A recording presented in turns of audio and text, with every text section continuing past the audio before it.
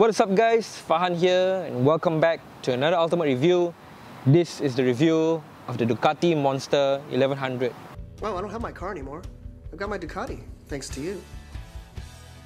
Ducati. Huge thanks to Unique Bike Rental for loaning me this bike. They have a whole range of unique bikes for rental uh, from BMWs to Ducatis uh, to even Adiva. There's even Adiva and also uh, Gilera Fuoco.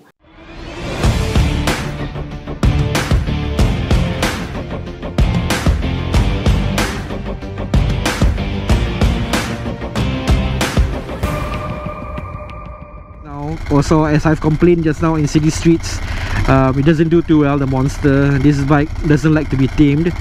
It just wants to go fast, and I find myself holding on to the clutch or half clutch very often because to manage the bike lah, to slow the bike down lah. But then it just doesn't like to be tamed.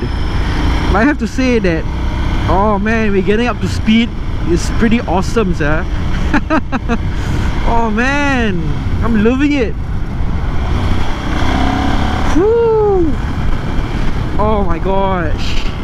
The torque on this is very awesome. It's one of the more torquier bikes that I've ever ridden. And it sounds really bitchin', you know, when you're riding it and going up to speed. Oh man. Oh my god. At high speeds, the bike does really well. But given that there's no windshield in front of you you're feeling the full force of the wind. So I guess riders would like would ride like this ah. but damn man oh my god on at high speeds on the highway the monster really does well. Handles like a dream on the highway you know? Oh man gosh I wish we can bring this to Malaysia. I'm gonna enjoy this bike in Malaysia man. And of course we're exiting the highway so we have to slow down. Oh man. It's a bike that doesn't want to go slow. I, I can I can tell you that lah. Oh man I feel as if when you're slowing down the bike is like going to stall or something. I think the new Ducatis will have the riding tech to manage itself at slow speeds so you can ride it comfortably at low speeds. But basically for this Ducati it doesn't want to go slow. But the monster right here it really does love the highways. So I think after we pump our fuel eh, we're gonna go back into the highway. The handling wise I think it's pretty good. Okay turns and leans wherever you point the bike to cornering is a breeze on the bike you know. I think um, you can even go lower and corner barring if you want to but of course we're not gonna do that lah. Uh, because it's not my bike. I don't want to do anything too crazy on other people's bikes and also um, in Singapore lah. Uh, okay so I'm gonna make our way to this Caltex here and pump some fuel Okay, it's been a while since I pumped Singapore fuel, uh, so I don't know how crazy the prices are going to be. Side stand, having trouble putting it down. Oh, oh my god. oh my god. Okay, so it's been a while. Hopefully the prices are not too crazy. I'm just gonna pump half tank given that they give me a bike that only left like I don't know. I think 3 bars. 1.2 liters is already 413 so not that bad lah. The Ducati Monster 1100 was manufactured from 2009 till 2013 the first major update after 15 years to the Monster lineup. The Monster was touted by the media as the bike that saved Ducati with over 300,000 made in December 2016. The Monster 1100 was replaced by the Monster 1200 in late 2013 at the time of its release, the Monster appealed to the urban, style-conscious buyers who wanted a bike that could make an individualistic statement, and it did so with a motorcycle that they had not quite seen before for a Ducati, Despite the huge departure from other Ducati models, it was still unmistakably Italian and a Ducati.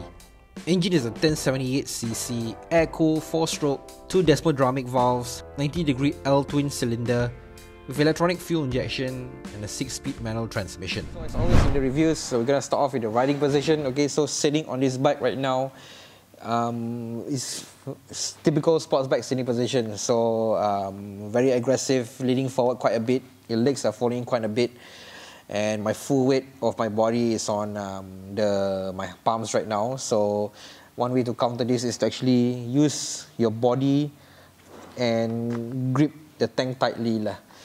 Um, for me, not too keen in this sitting position, given that I'm so used to riding a, a adventure bike. But you get used to it lah. So the ride height is 81 cm, I'm 165. As you can see, I'm tiptoeing slightly on the Ducati Monster and with a weight of 169 kg, I think like you're in a stoplight or standing on a bike like this, uh, vertically challenged riders won't have any issues with it. Lah. So up next, gotta talk about the design. Eh? Very much this um, hyper naked kind of design, okay, very much stripped down of unnecessary body cladding. Ducati says that it's to help with the weight reduction, also to help give off that naked look is the trellis frame, uh, fully exposed. Um, this is a Ducati signature. However, Ducati itself decided to do away with the trellis frame starting with the 2021 models and Ducati enthusiasts aren't really happy about that. and also to add on single-sided swing arm with chain on the right side, which, wow, I must admit that it's really amazing that they managed to pull this off. Um, dual exhaust gives a nice symmetrical look to the bike. Um, other than that, I think it's pretty much a very attractive design and two giant inverted front forks and also dual disc brakes at the front gives a very distinctive look to the bike. Yeah, the design overall, I think it screams um, Ducati, really has a nice appealing design to it. Lah. Right, so we got to talk about the handlebar controls on the Ducati Monster. Okay, um, given that this is an old model, very much basic and straightforward. There's like no riding modes, no riding features to toggle with. Okay, to the left over here, you've got the high beam, low beam, signal indicators, horn. And strangely enough, there's a mode toggle here, but I don't think it does anything. Um, when I ride the bike, uh, I try to toggle around with it. Mm, there's no increase or decrease in performance or speed. Okay, so to the right over here, we have the kill switch, the starter, and uh, that's it. and so the gauge cluster is this um, LCD uh, display, okay, very much in line with the bikes in those era. Apparently the mode button is to toggle the LCD display. Um, I think it's very much simple and straightforward, okay. You got the speedometer, tachometer, fuel indicator, and minimal LED warning lights. Okay, the signal indicators once again shows a generic one. I think it's basically in line with all the bikes in those era. basically that's it. Simple and straightforward lah. nothing much to say. Okay and speaking of riding tech okay so once again I've mentioned um, not much riding tech considering the era it was launched. Okay 43mm fully adjustable forward shocks in the front full LCD gauge cluster single-sided swing arm Brembo brakes no riding modes, no traction control, no ABS for this model. However, the Evo variation has all of this uh, and was launched in 2011. So horn check for the Ducati Monster.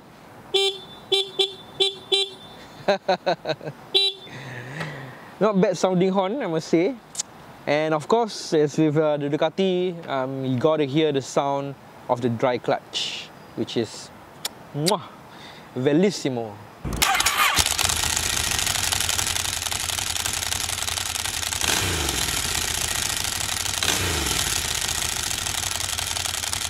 Delicioso. I don't know, like just spouting some Italian words. So let's talk price. And given that Ducatis are rare breed of motorcycles, especially for the Monster and this model, uh, there's actually none for sale that I can find in SG Bike Mart, Carousell. However, an Evo model is being sold, um, listed as $20,999.99.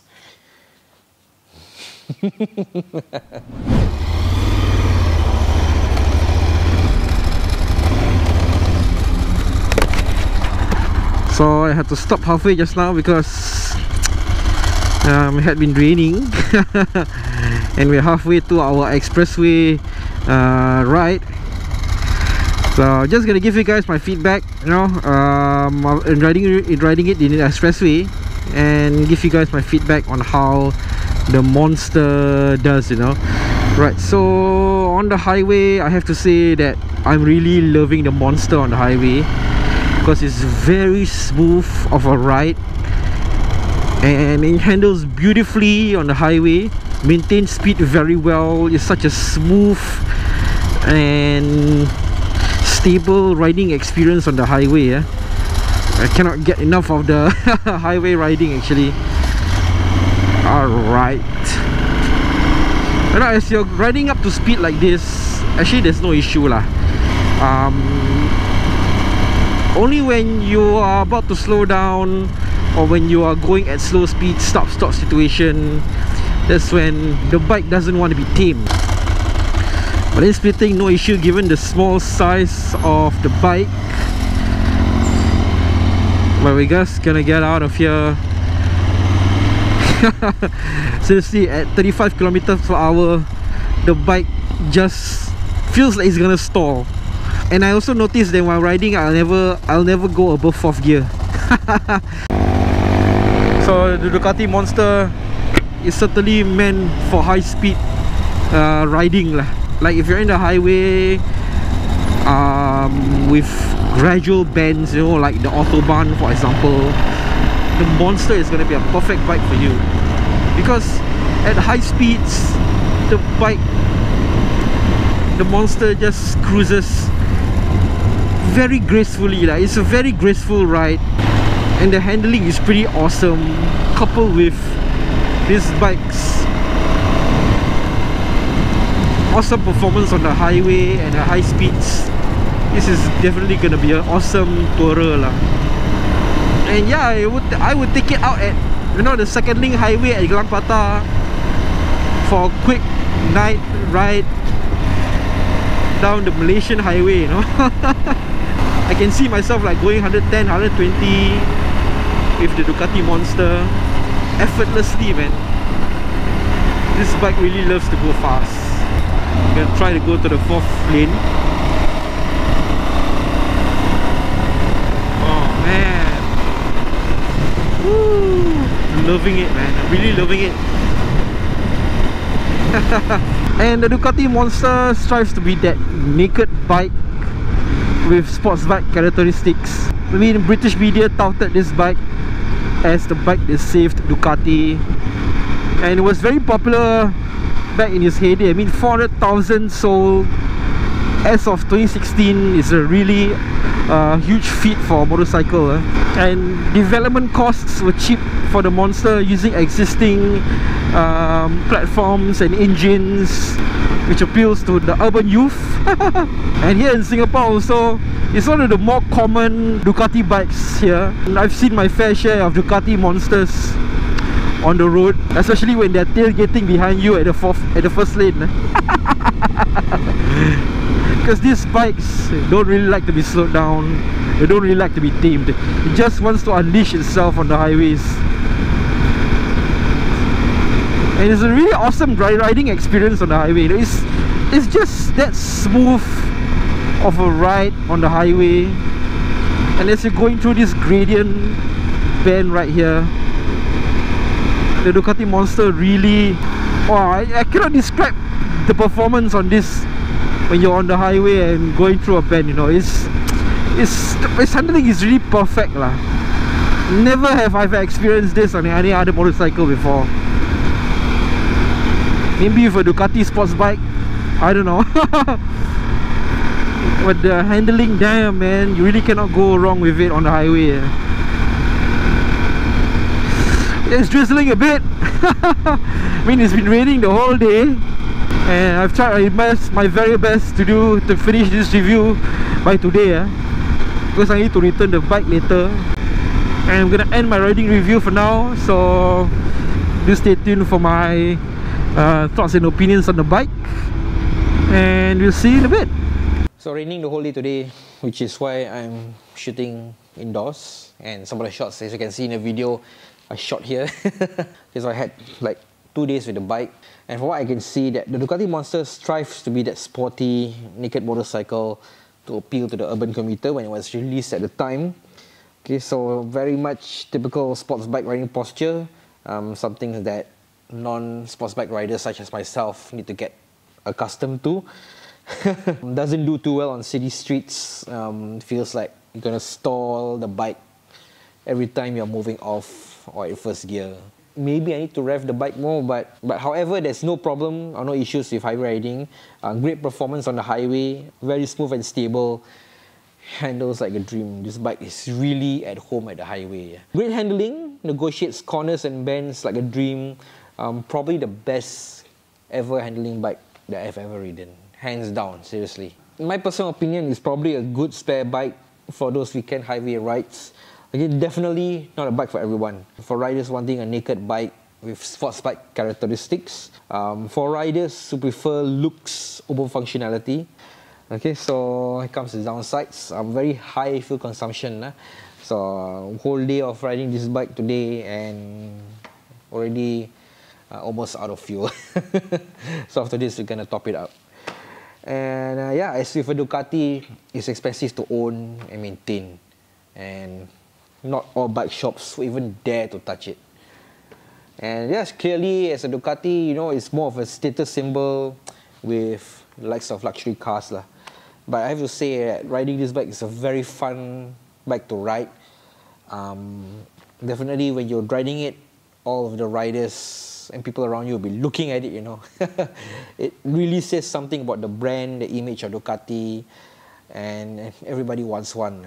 And that really says something about um, the brand and image of Ducati. So once again, huge thanks to Unique Bike Rental for loaning me this bike for the review. They have a whole range of unique bikes for rental, uh, from BMWs to Ducatis, um, to even Adiva. There's even Adiva and also uh, Gilera Fuoco and do check out the social media pages for their bike availability.